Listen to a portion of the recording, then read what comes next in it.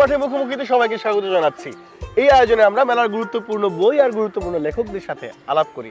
আমার সাথে এ পর্বের অতিথি হিসেবে আছেন কথা সাহিত্যিক উম্মে ফারহানা। তার তৃতীয় গল্পের বই টক টকটুমি এবার বইমেলায় প্রকাশ করেছে ঐতিহ্য।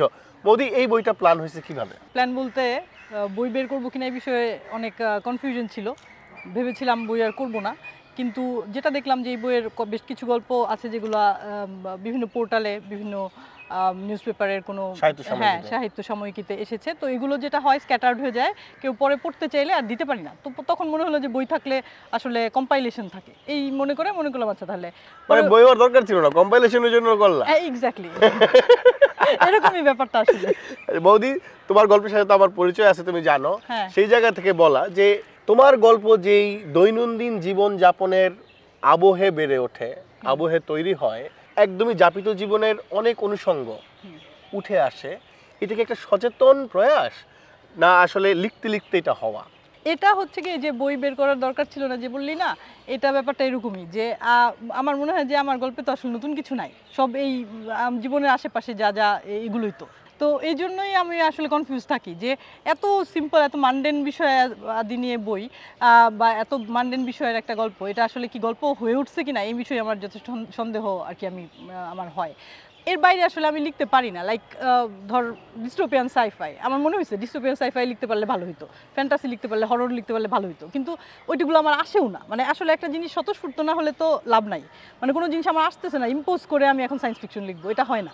তো যেটা দেখি আশেপাশে জীবন, সেগুলো নিয়েই লিখতে লিখতে পারি, সেজন্য এগুলোই বিষয় হিসেবে চলে আসে। এটা সচেতন বলা যাবে না, আবার হ্যাঁ সচেতনও। কারণ এই যে ভেবে দেখলাম যে আসলে অন্যভাবে হয় না, অন্য গল্প অন্যভাবে লিখতে গেলে ওই বিষয়বস্তু পাইও না আইডিয়াই আসে না। আইডিয়াগুলো এখান থেকেই আসে। আমি একটু আমাদের পাঠকদের জন্য বলতে চাই, উম্মে ফারহানা মানে আমাদের মৌদি।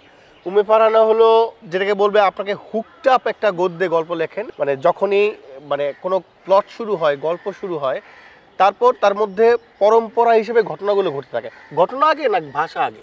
ঘটনা আগে বলতে, ঘটনা তো আসলে খুব নতুন কিছু না। ঘটনা ধর কি? গল্পের ঘটনা কি? ধর, ইলিয়াডের প্লটও যদি বলিস, কি ঘটনা? এই ছয় সাত দিনের মধ্যে কি কি হইল? ওই মৃত্যু, এই প্রতিশোধ, এই সেই এগুলোই তো। সো ওটা আসলে একটা ঘটনার একটা ফ্র্যাগমেন্ট একটা জাস্ট ফ্র্যাকশন ওই দৃশ্যের একটা খণ্ডিত অংশই। সো ওইটার আসলে ভাষাটা জরুরি যে আসলে উপস্থাপনাটা কীভাবে হলো। আর নয়তো এই ধরনের যে ঘটনা বলা হবে ওই প্রেম বিচ্ছেদ প্রতিশোধ মৃত্যু বা হত্যা হয়তো বা তো এই এগুলো তো আসলে পুরনো ঘটনাই। কিন্তু ওইটা আসলে কীভাবে কোন ভাষায় আসতেছে আমার ভাষায় আসতেছে সেটাই আসলে মনে হয় ইম্পর্টেন্ট তোমার ভাষা তুমি ইংরেজি সাহিত্যে পড়াশোনা করেছ ইংরেজি সাহিত্যের জন্য মাস্টারি করতেছো তোমার ভাষা আসলে কীভাবে তৈরি হয়েছে বলে তোমার এখন দ্বারায় মনে হয়? আমার যেটা মনে হয় সেটা হচ্ছে যে আমার ভাষাটা যদি বলিস মানে ভাষা আসলে হয়ে যাওয়াটা একটা ইম্পর্টেন্ট যে সে তার নিজের ভাষাটাই লেখে। এটা কিন্তু একটা লেখকের জন্য অ্যাচিভমেন্ট এখন তুই যদি বলিস যে হ্যাঁ তোমার ভাষায়, এটা তোমার ভাষায় হয়েছে তোমার স্টাইল হয়েছে তাইলে আমি এটাকে একটা কমপ্লিমেন্ট হিসেবে নিব। সো এটা আসলে হয়েছে কিনা এটা নিয়েই আমি আসলে সন্দিহান যে আসলে আমার ভাষা বা আমার নিজস্ব স্টাইল গড়ে উঠেছে কিনা অলরেডি যে এই তিনটা বইয়ের পরে আসলে এটা কি পড়লে চেনা যায় যে এটা উম্মে ফারহানের লেখা। এটা যদি চেনা যায়, তার মানে এটা আমার জন্য অ্যাচিভমেন্ট আমি মনে করি। যদি বলি যে প্রক্রিয়াটা কি, প্রক্রিয়াটা হচ্ছে যে আমি যেভাবে ভাবি, আমি সেভাবে লিখি। অনেক সময় কোলোকেলেও লিখি। কোলোকেলে লেখার ক্ষেত্রে অনেক ক্ষেত্রে অনেক সময় অনেক সম্পাদকরা আপত্তি জানান, তারা ছাপতে চান না কোলোকেলটা নিতে চান না কোলোকেলে বানান নিয়ে অনেক কনফিউশন আছে।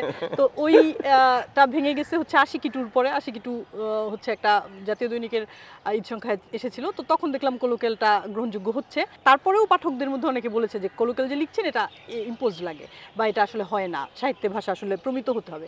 এই ভাগটা আমি মানি না। কারণ ওই যে যেটা কি মনে করো? ওই যে ওই প্রমথ চৌধুরীর পুরনো কথায় যে কলম থেকে মুখে আসলে কালি আসবে মুখ থেকে কলমে যেতে হবে। আমার এটাই মনে হয়।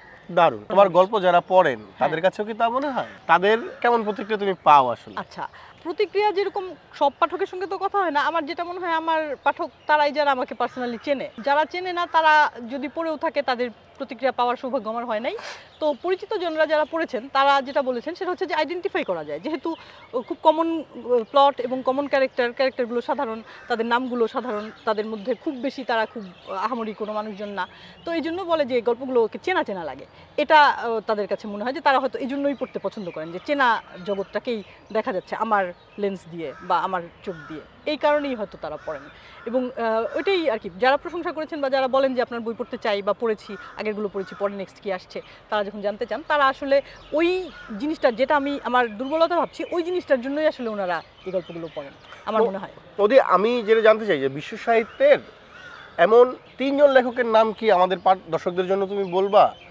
যাদের মতো কিংবা যাদের চেয়ে ভালো লিখতে পারলে তোমার নিজেকে মনে হবে না আমি লিখতে পারলাম। হ্যাঁ এটা একটু আস্পর্ধার মতো মনে হবে, কিন্তু আমার মনে হয় আমি যদি অরুন্ধতী রায়ের মতন লিখতে পারতাম বা টনি মরিসনের মতন লিখতে পারতাম। অমিতাভ ঘোষ অনেক পছন্দের, কিন্তু অমিতাভ ঘোষের লেভেলের লেখার ইচ্ছা আমার নাই। আমার মনে হয় যে, ধরে, ধর যে অরুন্ধতী রয় যে যে গড অফ স্মল থিংস ওই দ্য গড অফ স্মল থিংসের মতন লেভেলের একটা বই যদি আমি কখনো লিখতে পারি, মনে করব আমার জীবন সার্থক। দ্যাটস গ্রেট এই বইটাতে পাঠকরা কি কি পাবে? আচ্ছা এই বইটাতে অনেকগুলো অপ্রকাশিত গল্প আছে, যে গল্পগুলো আগে কখনো প্রকাশিত হয় নাই এবং আশিক একটু আগে বের হয়েছে আর দুইটা পোর্টালে বের হয়েছিল গনসাদা একটার নাম, ফুলঝামেলা একটার নাম। আর বাকিগুলো সব নতুন গল্প কোথাওই প্রকাশিত হয় নাই, আমার দু একজন ছাড়া আর কেউ পড়ে নাই তো এই নতুন গল্প পাওয়া যাবে, তবে গল্প যদি মনে হয় রিপিটেটিভ এবং সেম প্লট তাহলে আসলে কিছু করার নাই, কারণ আমি এই চেনা জগৎটা নিয়েই লিখি। এবং ওই এলিয়েন বা রবট বা এই সেই হ্যাঁ রবট একটা গল্পে একটু রবটের একটা ক্যারেক্টার আছে সুজানা গল্পটার নাম। তো ওখানে একটু হয়তো বা নতুনত্ব পেতে পারে। এরপর মানে লেখক হিসেবে তোমার লেখক হিসেবে আচ্ছা হ্যাঁ এখন প্রজেক্ট হিসেবে এখন আমি আসলে বড় আখ্যান লিখতে চাই উপন্যাস লিখতে চাই উপন্যাস লিখছি একটা। প্লট কি? ও ওইটারও এরকম সাধারণ প্লটই ওই একজন মানুষের আহ, আত্মহত্যা করতে চাওয়া এবং একই সঙ্গে জীবনের দিকে ফিরতে চাওয়ার যে দ্বন্দ্ব সেটা নিয়ে। ডুয়ালিটি দ্বন্দ্ব। হ্যাঁ দ্বন্দ্ব কারণ হচ্ছে যে ওই দ্বন্দ্বটাই মূল বিষয় যে সে আসলে আত্মহত্যা করবে নাকি জীবনের দিকে ফিরে আসবে?